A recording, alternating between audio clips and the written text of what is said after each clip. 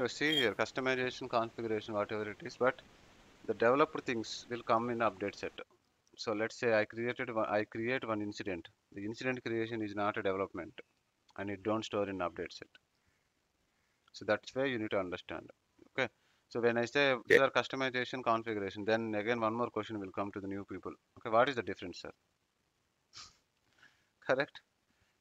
Yes, sir. That's what I am going to ask right now. I know, I know. Yes, sir. I don't know the answer. I think the So the answer for that is uh, when you when you get a Microsoft Office 360, uh, you don't install everything, so you only pick and choose what you need. So that's called configuration. any- Example.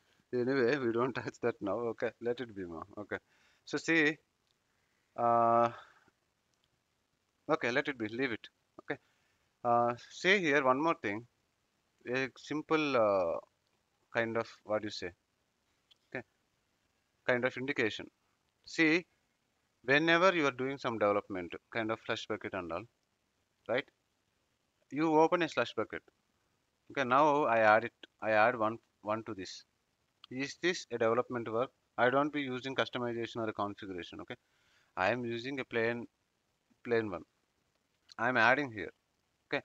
When i'm adding it i'm adding this created field in the form and then i'm saving it. Is that personalization or is that a kind of development or a non-development? Okay. Always look for this particular one. It is saying configuring. So that means it's a development. Correct? You understood this point? Yes. okay. Yeah. keep this page. Now you go here and then say this one. This is also slush bucket okay here it is it saying con uh, uh, configuration? It's just saying personalized. So No. this is non-configured this is non-development. Okay so when you have admin rights now always look for this particular frame. Where is that frame ah this frame. Okay if you want to just add for you it should be not configuration it's personalization. If you do like configuration way it happens it, it adds like a development and this one captures an update set and if it is accidentally moved to production then it will be there for everyone so the what does it mean is see here i moved one created field na? so save so the created field is came so if it is moved to production everyone will see this created field you got it you are getting it Yes. right so Yeah, be sir. careful just keep that uh, check whenever you are doing this slush bucket page okay the slush bucket page will clearly tell you whether it is the configuration or customization plus personalization okay instead of remembering those other two words you remember these two words personalization configuration is that fine everyone Yes, sir.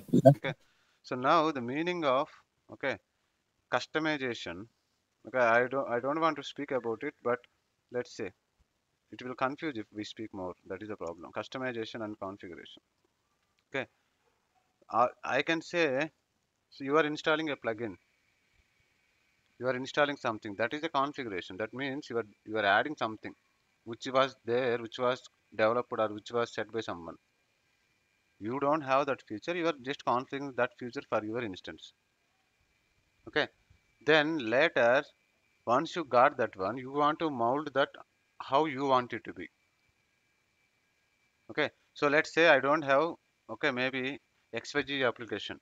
I'll go to plugin and then install it. Okay the application installed. Then i want to con i want to do some changes to that application which i got it. Then what i do? I will do config customization. You're understanding Got it? it.